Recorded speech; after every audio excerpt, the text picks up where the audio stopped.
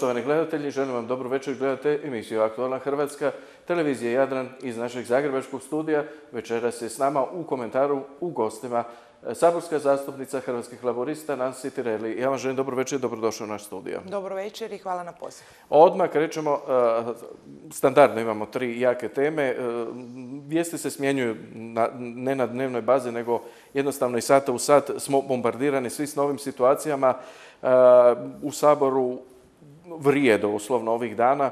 E, tako da bi krenuo od jedne teme koja e, mislim da će tek sad poprimiti veću dimenziju, iako je stvarno njena dimenzija velika.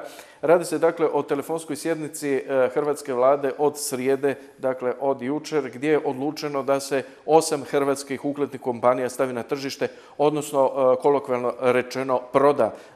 Radi se dakle kompanijama od Končara pa do Podravke, Kroacije i tako dalje, da ne nabrajam sve. Stvarno, radi se e, ne o obiteljskom srebru, nego o obiteljskim draguljima. Kako gledate na to? E, oporba se već jučer popodne na neki način digla na zadnje noge. Da, ja bih vas možda ispravila da smo se još jučer ujutro prilikom rasprave o planu izvršenja upravljanja državnom imovinom za 2015. dignuli na noge i upozoravali upravo na te stvari što vlada radi, a to je da najavljuje, dakle jučer ujutro još nismo znali ovu informaciju, rasprodaju državne imovine i to samo pokazuje da vlada u ovom trenutku u istinu nema modela na koji način e, popraviti e, taj naš proračun, gdje iznaći sredstva da bi se proračun kvalitetno mogao realizirati, osim rasprodajom državnog zlata, imovine hrvatskih građana bez da se nikoga ništa pita. Tim više što su takvu odluku donijeli na telefonskoj sjednici pokazuju o tome da uopće nemaju nikakvih, nikakvog moralnog stava prema ovome što su naslijedili. Dakle, oni moraju shvatiti jednu stvar. Ta imovina nije njihova, to je imovina svih nas zajedno i o toj imovini moraju odlučivati hrvatski građani, ne nekolicina pojedinaca kod kojih jedan ne zna što radi drugi, drugi ne zna što radi treći. E, premijer je davno najavio dakle prodaju nefunkcionalne državne imovine i mi se doduše ja osobno se s time slažem da nešto gdje nemamo velikih udjela, nešto što nije od nekakvog značaja, pa recimo nekakva trgovačka društva u kojima država ima možda manje od 1% nekog dioničkog udjela, sigurno treba rasteretiti da se tim društvima ne bavimo i da na njih ne trošimo vrijeme. Međutim, ovakve strateške firme u kojima rade tisuće zaposlenika, tisuće radnika, prodavati, a prodaju se dobre firme da bi se postigla viša cijena, to je svima jasno, ovoga uistinu je u ovom trenutku najgore što je ova vlada mogla, mogla napraviti, što, što radi ukoliko uopće vlada i postoji. Mislim da su to odluke pojedinaca s namjerom da se dakle nakon nekog vremena, da li kvartalno, da li polugodišnje, kaže da su oni ipak popravili prihodovnu stranu proračuna, da su povećali u jednom trenutku nekakav BDP, međutim dugoročno e, štete su nesagledive. Nemojmo zaboraviti da smo mi u povijesti imali x privatizacija i da su sve privatizacije što se tiče radnika završile na štetu radnika, što znači da su privatni vlasnici te radnike otpuštali, da su radnici bili na burzama i pitanje je dakle sada koja je matematika u prodaji tih firmi. Ukoliko se firme privatiziraju, ukoliko radnici završe na Zavodu za zapošljavanje, postaju u tom jednom segmentu socijalni slučajevi kojih mora o kojima mora brinuti opet država, odnosno državni proračun. S jedne strane imamo određeni prihod, s druge strane imamo siromašne građane i pitanje je dakle koja nam je matematika.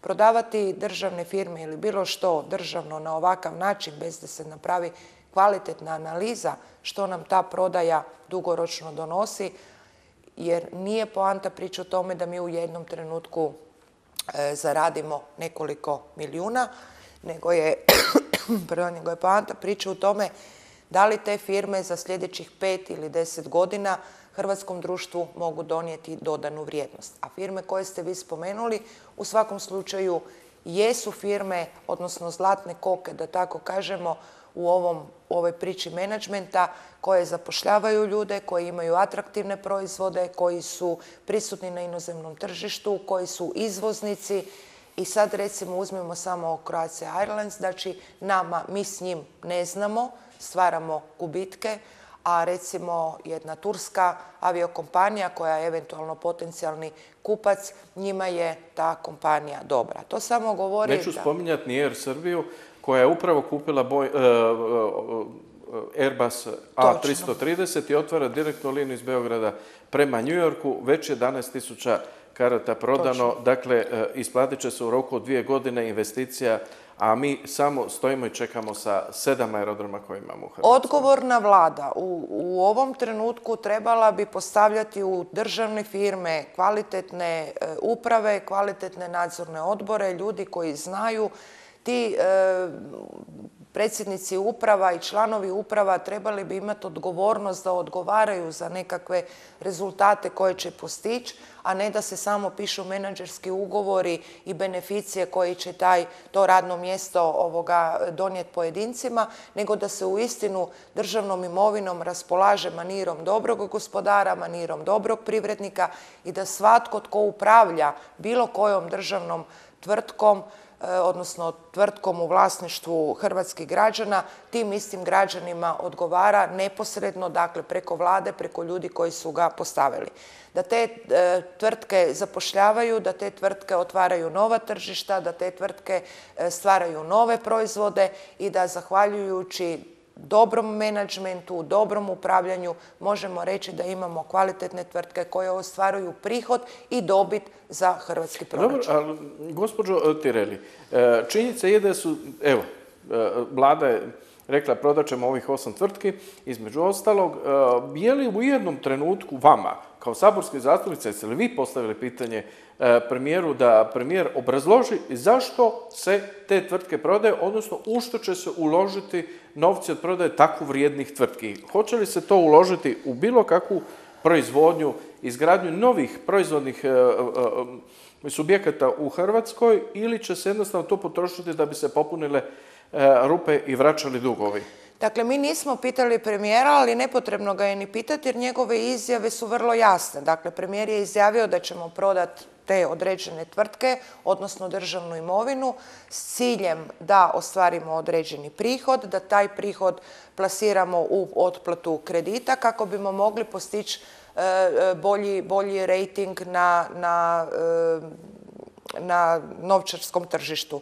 Dakle, to je jedina, jedina poanta. Ukoliko imamo E, povoljniji rating, to znači da imamo povoljniju kamatu, da su nam u tom trenutku e, e, obveze prema stranim bankama i prema svima, svim vjerovnicima u jednom malom postotku povoljnije, jer ja ne vjerujem da će se ni zahvaljujući prodaji ovim tvrtki taj rating toliko poboljšati da će nama kamata biti ne znam sad koliko manja. E, e, vrijednost novca u ovom trenutku na tržištu je najmanja, dakle povoljno je, sigurno je najpovoljnije. Ukoliko mi ovaj trenutak ne iskoristimo, kamata će sigurno rasti i mi ćemo opet biti u problemu.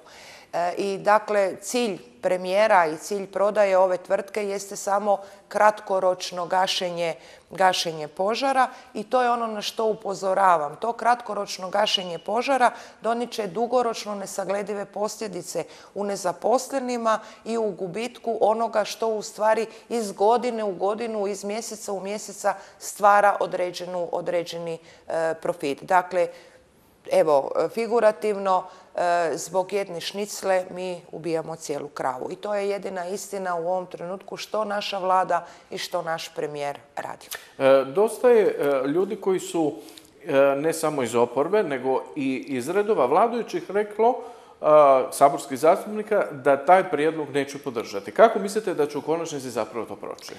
Gledajte, ja u istinu još uvijek nekako vjerujem e, u sve ono što ljudi govore e, i da od, a sad prvenstveno mislim, dakle, na koalicijske partnere koji čine većinu u Saboru, koji su i u svojim predizbornim kampanjama, tu mislim prvenstveno na Most, zalagali se zato da se državna imovina ne rasprodaje i da se državnom imovinom racionalno upravlja i da uprave, dakle i predsjednika uprava, nadzorne odbore, odnosno uprava biramo na javnim natječajima. Dakle, ja u istinu vjerujem da taj prijedlog u Saboru proći neće.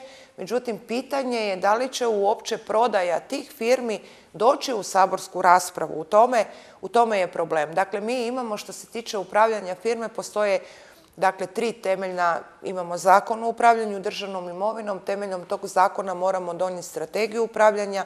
Mi strategiju imamo od 2013. do 2017. i to je prva uopće strategija u povijesti samostalne Hrvatske u kojoj e, e, piše na koji način ćemo tom imovinom raspolagati. I na temelju te strategije, dakle, vlada podnosi e, Saboru plan raspolaganja imovinom za svaku tekuću godinu. Ono što je Sabor trebao, trebao je raspravljati o planu upravljanja imovinom za 2016. godinu, što Sabor nije dobio. Taj dokument u Saboru, e, Sabor nije došao i zastupnici nisu glasali. Dakle, to samo znači da vlada uopće nije izvršila zakonsku obvezu, nije Saboru dala plan upravljanja tom državnom imovinom u kojem je između ostalog trebalo pisati i koja će se trgovačka društva prodati. Ukoliko da je taj plan u Sabor došao i da su zastupnici glasali protiv takvog plana, dakle ta se imovina ne bi mogla prodavati. Ovako ono čega se ja plašim i što je najizglednije jeste da će vlada donijeti odluku, da će ta imovina preko DUDija, dakle raspisati se javni natječaji za prihvat ponuda, da će ponuđači iskazati svoj interes i da će se dakle u prvom ili drugom, trećem krugu, kako već, ta imovina u istinu prodati, a bez da saborski zastupnici o tome uopće odlučuju, što znači da ni građani o tome neće odlučivati jer zastupnici jesu ili bi trebali biti glas naroda. Poštovani gledatelji, gledajte emisiju Aktualna Hrvatska. E, gospođo Tireli, E, situacija u Saboru e, ovih e, dana je vrlo zapaljiva. O situaciji u samim odnosima unutar suradnje Mosta i Domoljubne koalicije već su počeli pisati i mediji iz susjednih zemalja i nekih drugih evropskih zemalja. Neki čak spominju korak do raspada vlade. Kako vi zapravo gledate na stabilnost vlade i koalicije? Naime, tijekom proteklih tjedana čelnik e, čovjek e, stranke Milan Bandić, 165 sam Milan Bandić, najavljivao je da je e, na neki način proces redefinicije i preslagivanja koalicije u tijeku.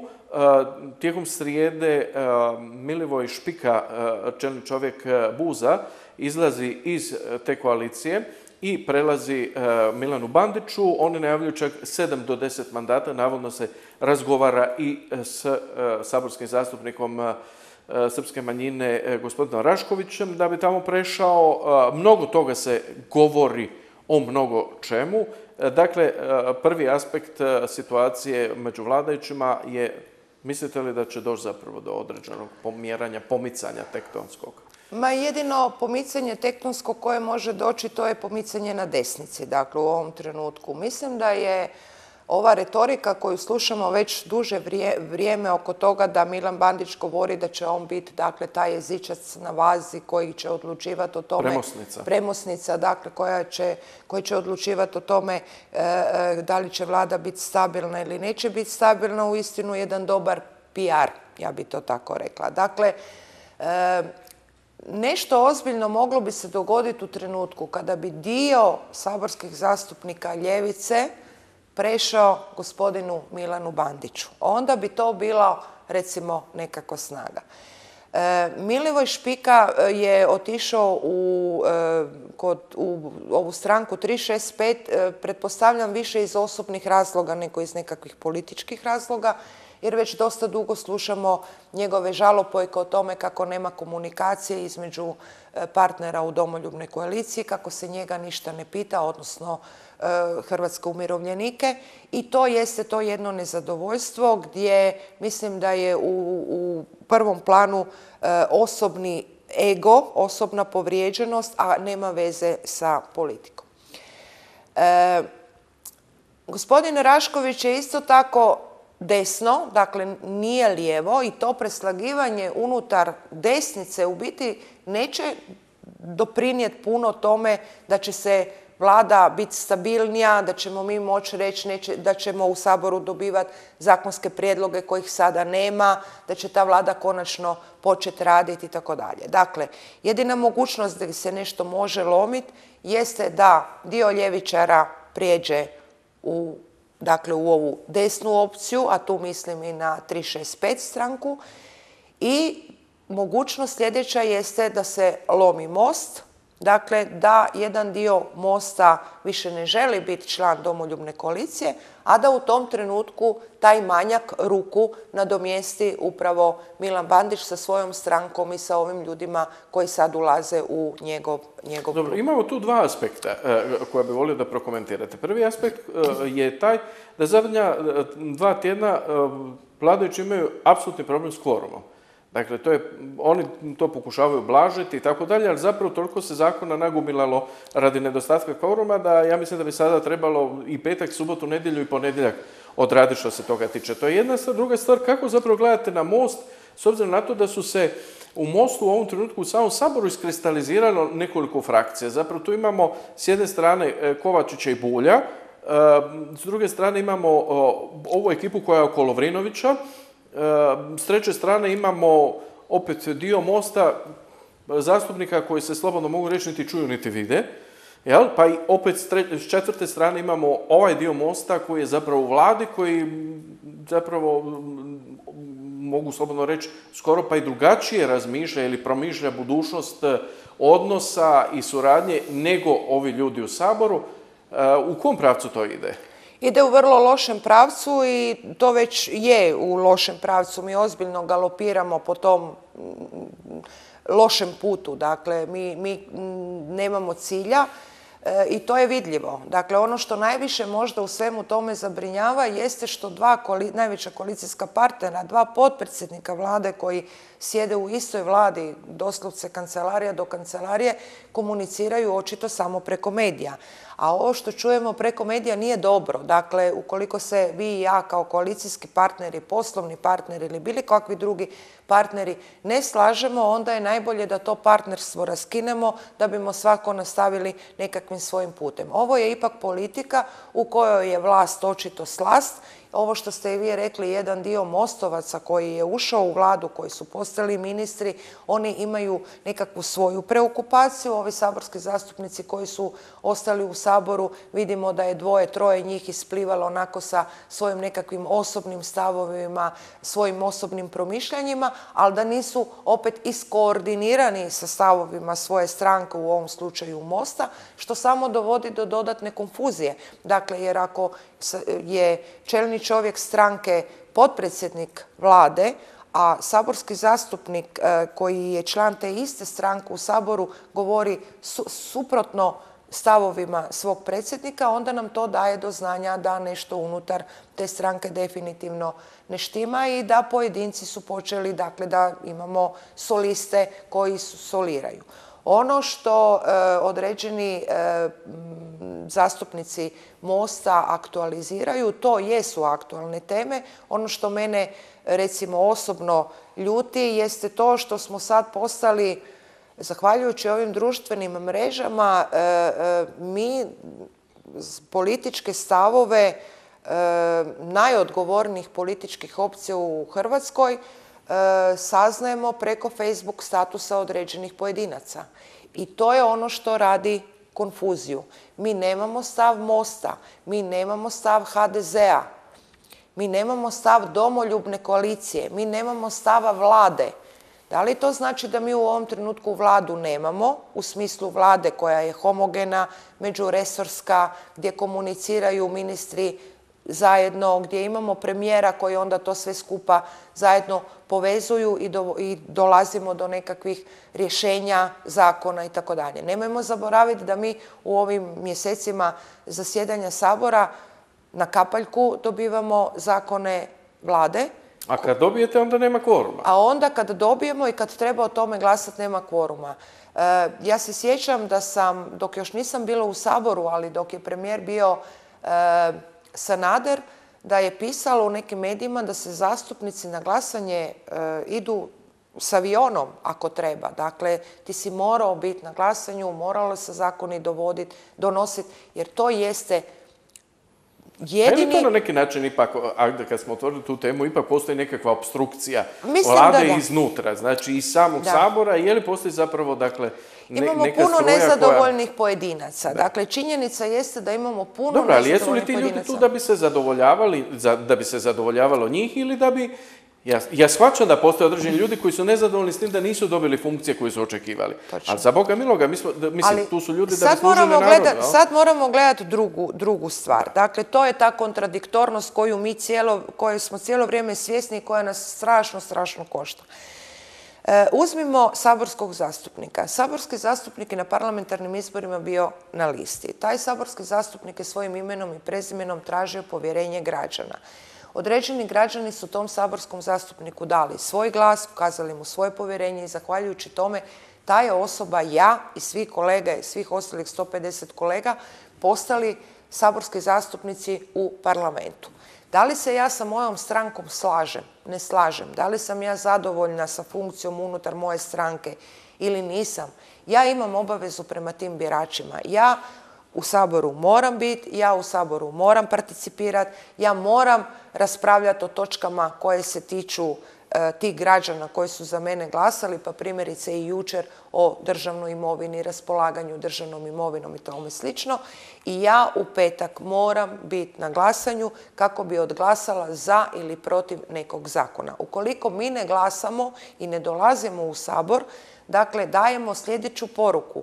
E, e, mene baš briga kako će građani živjeti. Jer građani funkcioniraju i svi ti zakoni za koje mi glasamo tiču se tih naših birača, Izravno, odnosno da. izravno tih Da, građana. šalje se poruka ili vas nije briga ili se šalje poruka, što građani isto tako mogu iščitati, da nešto ne štima. Točno, da nešto sigurno ne štima, to vidimo svaki dan da ne Jer opet štima. nisu ni građani budale. jer imate kontradiktorne, kontradiktorne izjave što samo govori da orkestar je strašno, strašno raštiman, a sa strašno raštimanim orkestrom vi ne znate koju melodiju Još jedan komentar na aktualnu situaciju. Peđa Grbin je jučer u Saboru e, izjavio kako će krenuti s inicijativom e, za smjenu prvog potpredsjednika vlade, dok je njegov kolega, e, što se tiče statusa, dakle, saborskih zastupnika, ali iz redova Hridi, e, doktor Prgomet rekao da, e, proširio zapravo inicijativu i rekao da bi trebalo zatražiti i smjenu čitave Hrvatske vlade. Kako vi zapravo gledate na to? Je li zapravo je li ima dovoljno argumenata od strane opozicije, pa i dovoljno snage za tako nešto? Pa dakle, I na temelju čega? Točno, opozicija bi trebala pokrenut izglasavanje povjerenja i prvom potpredsjedniku i vladi. Dakle, pitanje je da li će to netko uistinu učiniti. A drugo, e, ja sam isto jučer u raspravi rekla da jedina reforma koja nam je uistinu u ovom trenutku nužna kao, kao primarna reforma jeste reforma moralnosti vladajućih struktura. Tu sam mislila dakle na gospodina Karamarka u civiliziranim društvima, u demokratskim društvima, takav čovjek nakon ovakvih spoznaja, ovakvih dokumenata koji izađu u javnost nakon svega ovoga što se dogodilo unutar njegove, njegove obitelji, odstupio bi dakle sa, sa te pozicije. Mi ipak živimo u Hrvatskoj, svjedoci smo u ovih 20 i toliko godina na koji način, koliko afera smo sve imali, nitko nikad nije odstupio. Prema tome, za očekivati je da se to neće dogoditi ni sada.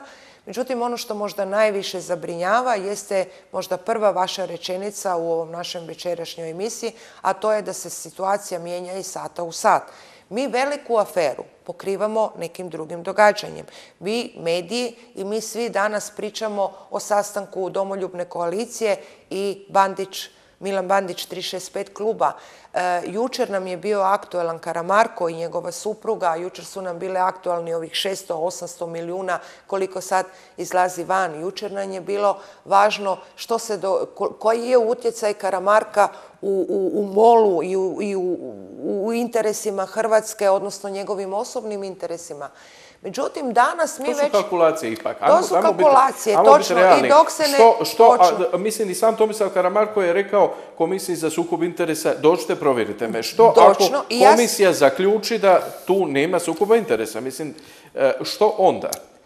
Poanta cijele priče je u tome što je nama to jučer bilo strašno aktualno. Međutim, A danas je ovo aktualno. taj isti čovjek, dakle isti čovjek o, ko- o koga smo jučer sumljali, u koma- o ko- za koga smo govorili da nije u redu to što radi, za koga propitkujemo da li je napravio nešto loše ili nešto dobro, danas o njemu raspravljamo kao čelnom čovjeku e, e, u, u parlamentu koji je možda pot, preslagivanjem, određenim preslagivanjem u Saboru, možda sutra potencijalni premijer umjesto aktualnog premijera. Dakle, to je ono što se nama, nama dešava. Da li, da li ćemo mi sad sačekati da istražno povjerenstvo utvrdi činjenice, da kažemo čovjek je ili nije kriv pa da idemo dalje, ili ćemo mi to u potpunosti zanemariti i tog čovjeka sutra imati za premijera.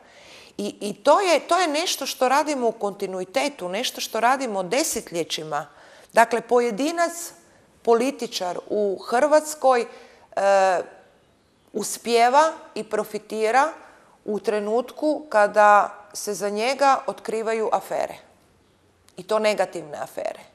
Pojedinci koji su u cijeloj toj priči nekako Dobro, ne mislite možda da, da je ovo baš tempirano u ovom trenutku i da se na neki način ipak e, s ovim e, vraća neko bilo za drago? Amo, amo bi do kraja tu. Sve se vraća, to je sve igra. Dakle, vi kada gledate ta pozadinska igra, ono nešto iza što se dešava, jeste utakmica pojedinaca gdje Da. se međusobno... Ali dobro, mi smo ipak, e, amo- d- ja ne aboliram nikoga, ali isto smo spremni e, ad hoc nekoga osuditi, a da, a da zato e, idemo pričekati ipak komisiju, da, da vidimo što će komisija Slažem reći. se, dakle- Mislim da nije u redu govoriti o nikome, o nikakvom krimenu do onog trenutka dok komisija ne kaže svoje mišljenje. Ja sad da samo to- govorim o, tom, Da. o toj moralnoj vertikali. Dakle, ukoliko sam ja prvi, prvi premijer države, ukoliko ta država Prvi potpredsjednik. prvi potpredsjednik, pardon, prvi potpredsjednik države, ukoliko ta država jeste u arbitraži sa određenom firmom radi vlastitih interesa, a ja kao potpredsjed, prvi potpredsjednik e, e, e, vlade moram brinut o interesima države, a dogodi se ova priča da moja supruga a od tog novca koji je ona zaradila, valjda živim i ja kao njezin suprug, jer je to valjda Dobro, ali onda obiteljski nisu bili u novac. vezi. E, Nisu, nisu bili, u, u u braku, braku, dobro, nisu bili u braku. Možemo sad ulaziti u ovu priču A to ipak smo malo ušli u- tako dalje. vidite da smo ušli u privatno. Ušli smo u privatno, Da, ali ja sad govorim samo o moralnom. Ja govorim samo o moralnoj vertikali e, gdje dozvoljavamo sa nekakvim našim postupcima da dovodimo svoj kredibilitet u sumnju. Dakle, svi mi odgovaramo za ono što napravimo, ono što kažemo i ono što jesmo. Prema tome, taj vlastiti kredibilitet sa ovakvim postupcima dovodimo u sumnju. I normalno je onda da su građani nezadovoljni, da građani počnu sumnjati, a ja isto sam na, vašem, na vašoj liniji, dakle, ne treba usuđivati nikoga da li prije do- dok se ne dok utvrde se činjenice e, i dokazi. ne- ne ja sad u ovom trenutku Da. uistinu govorim samo o moralnoj, Da. moralnoj toj nekakvoj, nekakvoj odgovornosti koja je meni u ovom, u ovom trenutku, evo, čist, upitna mi je. Imate to je, mišljenje da. da. je to vama upitno. E, idemo, e, pošto smo pred sam kraj emisije, samo kratko, ne mogu odoliti da vas to ne pitam, e, samo kratko, vaša reakcija na izjavu cijenjenog kardinala Puljića, Vrbosanskog, a to je da, evo ja ću parafrazirati, žene koje imaju seks prije braka su štrace. Kako na to gledate?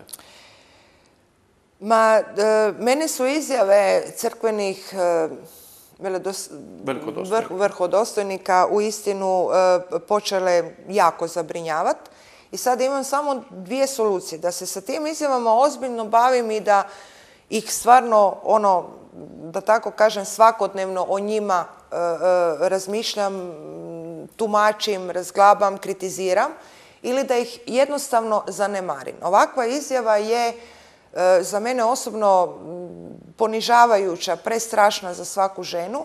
Druga stvar koja, koja me brine jeste to što su se oni uistinu počeli previše miješati u e, dnevno političke teme koje se dešavaju, a s druge strane e, njihov doprinos društvu u onom dijelu gdje bi taj doprinos trebao biti najveći, a to je sa vjernicima, pomoći vjernicima koji su u nevolji, nemoći i tako dalje, to čini mi se da je zakazalo. Dakle, njihovo poslanje po meni bi trebalo biti sasvim druge prirode od ovoga koga oni, oni vode. A nažalost svjedoci smo da sve više i više njih istupa na jedan čudan način sa neprimjerenim izjavama i da pritom se jedino mi koji možda razmišljamo drugačije osjećamo jako, jako loše i ja bi možda svima njima poručila da uvijek postoji mogućnost da se izađe iz crkvenih krugova, postane normalan građanin i da se onda